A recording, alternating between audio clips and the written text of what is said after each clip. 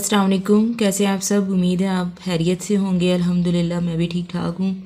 हमने सबक नंबर चौदह का आगाज़ किया था और जिसकी हमने पढ़ाई की थी मुश्किल अल्फाज जो हैं वो हद कुशीद किए थे और साथ हमने अल्फाज मायने किए थे। आज इन हम मश्क के बाकी हिस्से करेंगे और उससे पहले मैं कुछ पूछना चाह रही थी कि सफ़ाई का ख्याल रखना क्यों ज़रूरी है? हम्म, बिल्कुल। सफ़ाई से इंसान जो है वो सेहतमंद रहता है, तंदुरुस्त रहता है, ठीक है? तो इसलिए सफ़ाई का ख्याल रखना चाहिए। दूसरा मैं ये पूछ लूँगी, दूसरा मैं ये पूछना चाह रही हूँ कि क्या अपने घर को ही सिर्फ़ आप लोगों ने साफ़ रखना होता है?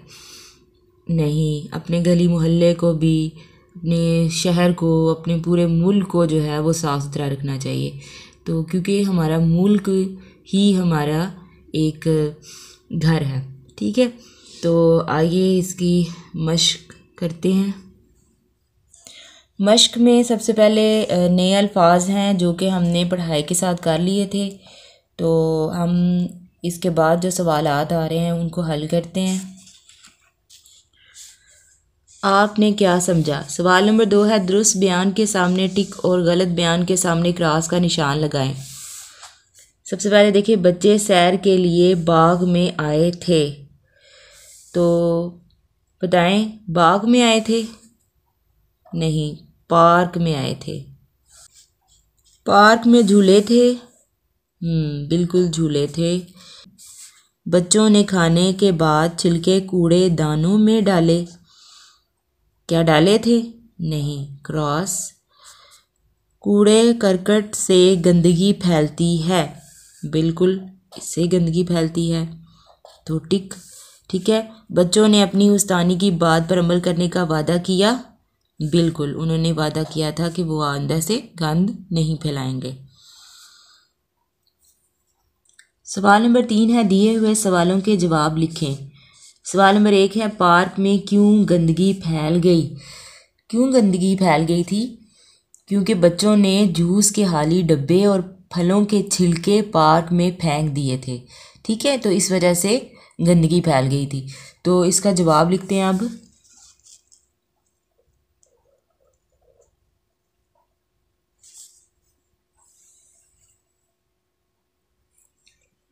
तो देखिए, मैंने इसका जवाब लिख दिया है, क्योंकि बच्चों ने जूस के हाली डब्बे और फलों के छिलके पार्क में फेंक दिए थे।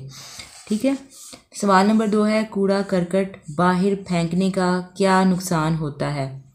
तो बताएँ, क्या नुकसान होता है? हम्म तो कूड़ा करकट बाहर फेंकने से गंदगी फैलती है, मक्खियाँ और मच्छर पैदा होते हैं जो बीमारी फैलाते हैं। ठीक है तो इसका आप जवाब लिखते हैं। इसका जवाब देखें कि कूड़ा करकट बाहर फेंकने से गंदगी फैलती है, मक्खियाँ और मच्छर पैदा होते हैं जो बीमारी फैलाते हैं और आखिर में आपने हतमा लगाना। है ठीक है, सवाल के आगे हमने सवालिया निशान लगाना होता है और जवाब के आगे हमने हतमा लगाना होता है। सवाल नंबर तीन है, अपनी गलियों को साफ़ रखने के लिए हमें क्या करना चाहिए? तो बताएँ, हमें क्या करना चाहिए? इसका क्या जवाब होगा? हम्म हमें कूड़ा करकट कूड़ेदान में डालना चाहिए। ठीक है तो इसका जवाब आप लिखते हैं। तो इसका जवाब है, हमें कूड़ा करकट कूड़ेदान में फेंकना चाहिए या डालना चाहिए, ठीक है? मिलकर करें बात। सवाल नंबर चार है, दिया गया वाक्य सुने और आखिर में दिए हुए सवालों के जवाब दें ज़ुबानी। तो इसमें देखें, हम वाक्य पढ़ते हैं कि रियाज के सामने एक बुढ़िया जा रही थी। अचानक बुढ़िया को ठोकर लगी, बुढ़िया ज़मीन पर गिर पड़ी और उसका सामान इधर उधर बिखर गया। रियाज जल्दी से बुढ़िया की तरफ़ गया। उसने बुढ़िया की उठने में मदद की, फिर सारा सामान समेट कर थैले में डाल दिया। बुढ़िया बहुत खुश हुई और उसने रियाज को दुआएँ दी। ठीक है? तो इसमें देखना है आपने कि कुछ सवाल भी पूछे गए हैं, जैसे बुढ़िया ज़मीन पर क्यों गिर गई? रियाज ने बुढ़िया की किस तरह मदद की? बुढ़िया ने रियाज को क्यों दुआएँ दी? ठीक है? तो अब ये देखें कि अबारत दी गई है और आपने उस अबारत को अच्छे से फ़हम करना है, समझना है और उसके बाद उसके सवाल के जवाब देने हैं। तफीम इबारत को करने का तरीका ये होता है कि आप इबारत को पहले समझें, फिर उसके बाद उसके सवाल के जवाब दें। ठीक है? जैसे पहला सवाल आपको पहली लाइन में ही नज़र आ जाएगा, जैसे बुढ़िया ज़मीन पर क्यों गिर गई? बुढ़िया को ठोकर लगी थी, इसलिए वो ज़मीन पर गिर पड़ी। तो हम ये लिख सकते हैं, इसका ये जवाब कर सकते हैं कि बुढ़िया को ठोकर लगी, बुढ़िया ज़मीन पर गिर पड़ी, ठीक है? और इसको आप इस तरह भी लिख सकते हैं कि बुढ़िया ठोकर लगने से ज़मीन पर गिर गई। इस तरह जवाब जो है ना, इसका हम ढूंढ सकते हैं। तो पहले का ये जवाब हो गया। दूसरा सवाल है, रियाज ने बुढ़िया की किस तरह मदद की? अच्छा जी, रियाज ने क्या किया था कि रियाज ने बुढ़िया की उठने में मदद की थी और उसका सारा सामान समेट कर थैले में डाल दिया था।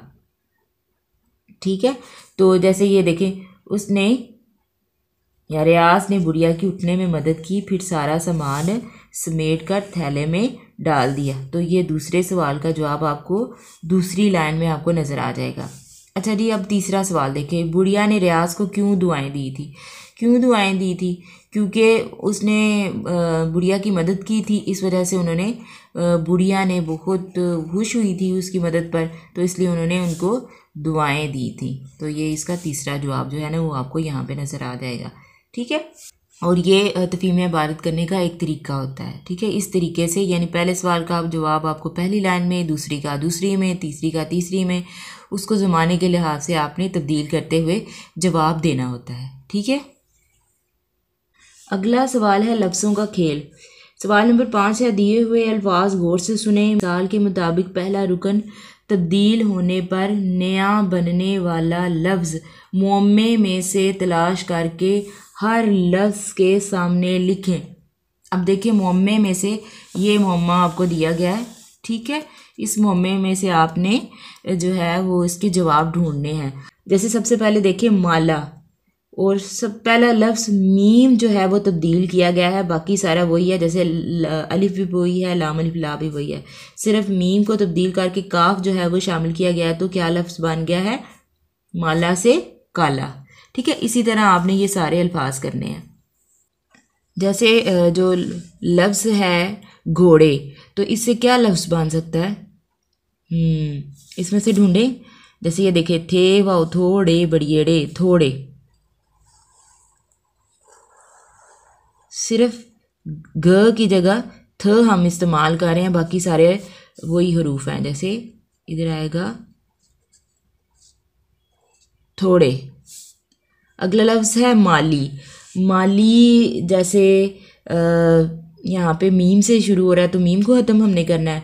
तो हम इधर से ढूंढते हैं, माली से क्या बनेगा? जी, माली से हम बनाएँगे डाली। शाबाश। डाल अलिफ डा लाम छोटी एली डाली। अगला लफ्ज़ है हमारा वादी। ठीक है? वादी से हम बना सकते हैं। वाओ का ख़त्म करना है ना तो उसकी जगह क्या हम लगाएँगे? दाल लगाएँ तो क्या बन जाता है? दादी। तो हम दादी को यहाँ पे ढूंढेंगे, जैसे कैसे बनाएँगे हम। तो दादी, ऐसे का दाल, दा, दाल छोटी है दी, दादी। तो इधर हम लिख देंगे दादी। अगला लफ्ज़ है मोटा। मोटा से क्या मीम को ख़त्म करके हमने कोई नया हर्फ जो है वो लगाना है? जैसे मोटा, छोटा। तो छोटा ढूंढेंगे यहाँ पे, जैसे क्या, कहाँ लिखा हुआ है? चे व छोटे अलिफ्टा छोटा। तो हम यहाँ से ऐसे कर लेंगे। ठीक है? छोटा। उसके बाद जी लफ्ज़ है। अच्छा हम अब छोटा लिख लेंगे। छोटा। अच्छा अगला लफ्ज़ देखें, बाजा। तो बाजा से हम बनाएँगे राजा।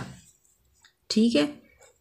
ये पहले से अगर आप देखेंगे ना तो आपको यहाँ से अल्फाज मिल जाएँगे। तो आप वो पहले से देख सकते हो। जैसे राजा, रे, अलिफ, रा और जी अलिफ, जा। क्या बन गया? राजा। तो यहाँ पे हमने राजा लिख भी दिया। तो ये इस तरह आपका ये सवाल जो है वो मुकम्मल हो गया। है कवायद सीखें। दिए हुए जुमले गौर से पढ़िए। इनमें हतमा, सवालिया और सख्ता को नुमाया किया गया है। जैसे देखें, यहाँ पे जुमले लिखे हुए हैं कि पार्क बहुत खूबसूरत था। लास्ट पे क्या लगा हुआ है? हतमा। क्या लगा हुआ है? हतमा ये यहाँ देखें हतमा का निशान उन्होंने बताया हुआ है। अगला जो जुमला है, क्या तुम अच्छे बच्चे नहीं हो? क्या का लफ्ज़ इस्तेमाल आ गया? तो फिर सवालिया यहाँ पे देखें, ये गौर करें। यहाँ पे ये, ठीक है? और इसके बाद बच्चे अपने साथ फल, जूस और खाने पीने का सामान भी लाए थे। जब एक जैसी चीज़ें हों तो उनको अलग अलग करने के लिए हम जो है, वो सख्ता का इस्तेमाल करते हैं। सख्ता का मतलब होता है कि थोड़ी देर के लिए रुकना, ठीक है? यहाँ पे जैसे ये देखें, यहाँ पे आपको ये निशान जो है, यहाँ पे नज़र आ रहा होगा। तो अब हमने सवाल ये करना है कि सवाल नंबर छः है, जुमलों को पढ़कर सवालिया, हतमा और सख्ता का निशान लगाएँ और सामने दोबारा जुमला लिखें। आपने इन जुमलों को जो है, वो दोबारा लिखना है, ठीक है? और यहाँ पर गौर करने वाली बात यह है, देखें कि यहाँ पर हतमा सकता और सवालिया नहीं लगाया हुआ निशान। ये हमने लिख कर दोबारा जो है इसके आगे हतमा या सवालिया निशान जहाँ पे आएगा, जहाँ पे सवाल पूछा जाएगा, जहाँ पे ज़्यादा चीज़ें होंगी एक जैसी तो उनमें हमने फ़र्क करने के लिए ये जो करेंगे। ठीक है? तो सबसे पहला जुमला है, हम पाकिस्तानी हैं। तो हम पाकिस्तानी हैं, एक सादा जुमला है। हम लिख लेते हैं, हम पाकिस्तानी हैं। ठीक है? तो हम क्या लगाएँगे? हतमा। ठीक हो गया? अगला जो हमारा जुमला है, अब्बा जान ने आम, सेब और केले खरीदे। अब देखें, बहुत से फलों के नाम आ गए हैं ना? तो इसलिए हम इनको अलग करने के लिए हम क्या करेंगे कि अब्बा जान ने आम फिर हम लगा देंगे। सकता सेब और केले ख़रीदे। यहाँ पे जगह थोड़ी कम है। ठीक है, आप छोटा छोटा सा लिख सकते हैं और आखिर में हम हतमा लगाएँगे। ठीक है? अगला है, क्या तुमने सबक पढ़ लिया है? तो क्या आ गया? ठीक है? तो क्या हम करेंगे? इधर क्या लगाएँगे? सवालिया निशान लगाएँगे। तो क्या तुमने सबक पढ़ लिया है। तो हम इधर क्या लगाएँगे? सवालिया निशान। आगे है, हम बलोचिस्तान कब जाएँगे? कब जाएँगे? अब फिर दोबारा से सवाल पूछा गया। यहाँ पे हम क्या लगाएँगे? सवालिया निशान। हम बलोचिस्तान, बताएँ बलोचिस्तान क्या है? जी, हमारे एक सूबे का नाम है। कब जाएँगे? आपने वैसे का वैसे ही जुमला लिख के, ठीक है? आगे आपने हतमा या सवालिया निशान लगाना तो इसके आगे सवालिया निशान आएगा। आगे है कराची, हैदराबाद और सखर, सिंध में है। अब दोबारा से देखें कि शहरों के नाम इकट्ठे आ गए हैं। तो हम क्या करेंगे? शाबाश, हम कराची के बाद जो है वो सक्ता लगाएँगे। हैदराबाद और सखर सिंध में हैं। और इसके बाद हम क्या लगाएँगे? हतमा ठीक है? यहाँ पे दो निशान आएँगे। ठीक है? तो इस तरह ये आपका मुकम्मल हो जाएगा। अच्छा अगर हम जब जुमला पढ़ते हैं तो क्या हम इनको पढ़ते भी हैं? यानी लिखने में तो ये ठीक है, हम लिखते हैं, लेकिन क्या पढ़ते हैं? क्या मैं ऐसे पढ़ूँगी? कराची सकता है हैदराबाद और सखर सिंध में है। हतमा ऐसे नहीं। आपने इनको बस लगाना है, ठीक है? पढ़ने में आसानी के लिए। लेकिन आपने इनको पढ़ेंगे नहीं। कराची, हैदराबाद और सखर सिंध में है। हम बस इस तरह जुमला जो है वो पढ़ेंगे, ठीक है? तो इस तरह ये आपका सवाल जो है वो मुकम्मल हो गया है। अगला जो आपका सवाल है, पढ़ें। सवाल नंबर सात है, पढ़ें और मिसाल के मुताबिक सितारों की तादाद को लफ्ज़ी और अददी गिनती से मिलाएँ। ठीक है? अब आपको सबसे पहले पता होना चाहिए कि लफ्ज़ी गिनती कौन सी होती है और अददी गिनती कौन सी होती है। जैसे मैं कहती हूँ कि ये है लफ्ज़ी गिनती का मैं आपको फ़र्क बताती हूँ कि ये लफ्ज़ी और ये अददी। ठीक है? लफ्ज़ी क्या है? अगर मैं लिखती हूँ एक तो ये है लफ्ज़ी और अगर मैं इस तरह लिख देती हूँ तो ये है अददी। ठीक है? तो इस तरह जो है आपने लफ्ज़ी और अददी गिनती को इन स्टार्स के साथ, इन सितारों के साथ हमने मिलाना है। इनको गिनना है, ठीक है? और उनको हमने जो है वो लफ्ज़ी गिनती के साथ भी लगाना है और अददी गिनती के साथ भी लगाना है। देखें, यहाँ पे लफ्ज़ी गिनती भी है और अददी गिनती भी है नीचे, ठीक है? तो सबसे पहले ये यहाँ पे देखें कि दो दो ही है ना? एक और दो दो है। तो हमने दो को ढूंढना है, जैसे ये देखें दो, यहाँ से आपने शुरू करना है और इसको यहाँ से ही मिलाना है, ठीक है? ये जो गोल दायरा सा बना हुआ है ना, यहाँ आपने इसको मिलाना अब यहाँ पे ढूंढे किधर है? इस तरफ़ मुँह होता है इसका। ये शाबाश, ये यहाँ से हमें ये यहाँ पे मिल गया। आगे एक, दो, तीन, चार है तो चार से उन्होंने मिलाया हुआ है। आगे देखें कितने हैं? एक, दो, तीन, चार, पाँच, छः, सात, आठ, नौ। तो नौ किधर है? देखें देखें देखें देखें। ये शाबाश ये देखें। ये आ गया नौ। और यहाँ पे ढूंढे किधर है? हम्म, ये शाबाश। आगे देखें। आगे है एक दो तीन चार पाँच छः सात आठ नौ दस। हम्म दस। दस किधर है? देखिए ज़रा। हाँ ये है। दाल सीन दस। तो इस तरह हमने इसको दस को कर लेना है यहाँ पे मिला देना ये मिल गया। और इसके बाद देखें दस हमने ढूंढना है यहाँ पे। तो ये ये जैसे दस यहाँ पे अददी गिनती में। ये हमने मिला दिया। आगे है जी गिनते हैं। एक दो तीन चार पाँच छः सात आठ। हम्म, आठ है। तो आठ किधर लिखा हुआ है? हम्म, ये आठ अलमद आठ ही आठ। तो हम इसको, इसके साथ मिला देते हैं ऐसे, ठीक है? और यहाँ पे आठ ढूंढते हैं, वो ऐसे करके होता है। ये है, शाबाश। तो ये हमने यहाँ से ऐसे करके मिला दिया आठ, ठीक है? अगला जो है हमारा, एक, दो, तीन, चार, पाँच, छः, सात। सात सात किधर है? शाबाश, ये नज़र आ गया, ये सात हो गया। अच्छा जी, यहाँ से हम ढूंढते हैं, ये है। तो हम इसको इसके साथ मिला देते हैं। जगह बहुत ज़्यादा कम है जिसकी वजह से हमें जो है वो हो रहा है। ठीक है ये इधर मिला दिया ये गलती से मेरे से हो गया। तो आगे देखें आगे क्या है? एक दो तीन चार पाँच छः छः शाबाश छः ढूंढे ज़रा किधर है? हम्म, ये ठीक है? छः इस तरह भी लिखा जाता है ऐसे। ठीक है ऐसे भी लिखा जाता है। तो छः को हम इसके साथ ऐसे मिला लेंगे और यहाँ पे छः ढूंढे। ये है जो दो होता है ना उसकी उल्टी साइड पे जैसे ये देखें ये दो इस तरफ़ होता है और छः इस तरफ़ होता है। ठीक है? तो हम छः को मिला लेंगे यहाँ से ऐसे। ठीक है? आगे देखें। आगे जो हमारे हैं एक दो तीन चार पाँच। पाँच। पाँच किधर है? हम्म, ये नज़र आ गया हमें। ये पाँच। ठीक है? तो पाँच इधर ढूंढे। अद्धी गिनती में ढूंढे, किधर है पाँच? मुझे तो मिल ही नहीं रहा, किधर गया? ओ, मिल गया, यहाँ पे हम, ये देखें। यहाँ से ऐसे आते आते आते आते, यहाँ पे ऐसे आ गए। ठीक है, पाँच हो गया। आगे देखें, एक, वो, ये तो एक ही स्टार है। तो अब देखें, इसको पहले मैं अद्धी गिनती में ढूंढ। लूँ जैसे ये मुझे मिल गया। और यहाँ पे किधर लिखा हुआ है? वो सबसे पहले लिखा हुआ ये देखें ज़रा। ऐसे ऐसे ऐसे ऐसे ऐसे मैंने ऐसे मिला दिया। ठीक है? अब ये देखें। अगला है एक दो तीन। अब ये मेरा आखिरी रह गया। तो मेरा तीन यहाँ पे छुपा हुआ है। ये देखें ये ऐसे ये तीन। ठीक है? और यहाँ से तीन ढूंढे किधर है? हम्म, दो की तरह। अगर एक ऐसे इजाफा कर दे तो तीन बन जाता है। तो इस तरह मैं इसको ऐसे ऐसे मिला दूँगी। तो इधर से समझ ही नहीं आ रही हमें, लेकिन यहाँ से आप, आपको समझ आ गई होगी कि किस तरह आपने ये सवाल करना है। ठीक है? तो ये यहाँ पे लफ्ज़ी गिनती लिखी हुई है और ये अददी गिनती लिखी हुई है और इसके साथ आपने मिलाना है। ये देखें, ये तरतीब से लिखी हुई है, लेकिन ये तरतीब से नहीं लिखी हुई, ये आगे पीछे लिखी हुई है।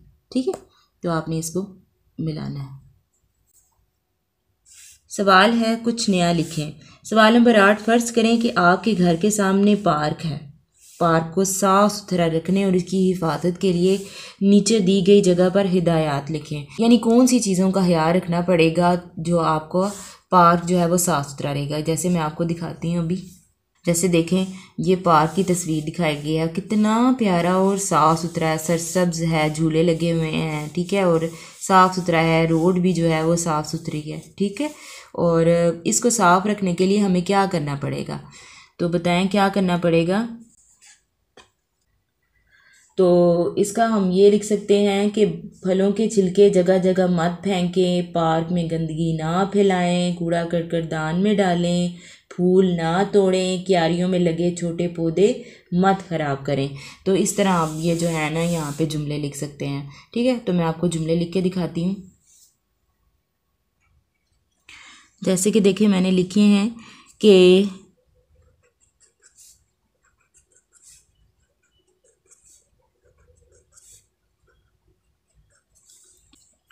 जैसे कि मैंने लिखे हैं, फलों के छिलके जगह जगह मत फेंकें, पार्क में गंदगी ना फैलाएँ, कूड़ा कूड़ा दान में डालें, फूल ना तोड़ें, क्यारियों में लगे छोटे पौधे मत ख़राब करें। ठीक है? तो इस तरह आप इसके बारे में ये हदायत लिख सकते हैं। और ये अक्सर पार्क के बाहर जो है, वो लिखे भी होते हैं कि आप पार्क को जो है, वो इस तरह साफ़ रखें। ठीक है? जगह जगह भी ये बातें लिखी होती हैं। आओ करें काम। सवाल नंबर नौ है, किसी डब्बे से कूड़ादान बनाएँ और उसे कमरा जमात में रखें। तो जैसे स्कूल में जो है, वो आप अपनी क्लास के अंदर जो है, वो एक जो है बास्केट जो है वो बना सकते हैं, एक डब्बे से भी बना सकते हैं, उसको आप कवर चढ़ा के उसको रख सकते हैं और बाज़ार से भी मिलती हैं। आप उनको भी जो है वो कवर आप करके अच्छा सा घर बनाना चाह रहे हैं तो वो भी बना सकते हैं, ठीक है? तो ये आपका करने वाला काम है, यानी अमली काम है आपका, ठीक है? इसके बाद है सवाल नंबर दस, कमरा जमात में सफ़ाई के मुख्तलिफ़ काम एक दूसरे के ज़िम्मे लगाएँ और सफ़ाई का दिन मनाएँ। अच्छा जी, ये भी आपका अमली काम है, यानी आपने क्लास के अंदर क्या करना है? अपने क्लास के अंदर ऐसे करना है कि हर बच्चे की एक ड्यूटी लगा देनी है कि आपने जो है वो सफ़ाई का ख्याल रखना है और दूसरों को भी कहना है कि अपनी क्लास में सफ़ाई का ख्याल रखें, ठीक है? और हर बच्चा जो है वो अपनी जगह का अगर सफ़ाई का ख्याल रखेगा तो इस तरह क्या होगा कि पूरी क्लास जो है वो साफ़ रहेगी, ठीक है? मुझे उम्मीद है आपको इस पूरे सबक की समझ आ गई होगी। इसके साथ मुझे दें इजाज़त, अपना ख्याल रखिएगा, दुआओं में याद रखिएगा। अल्लाह हाफिज़।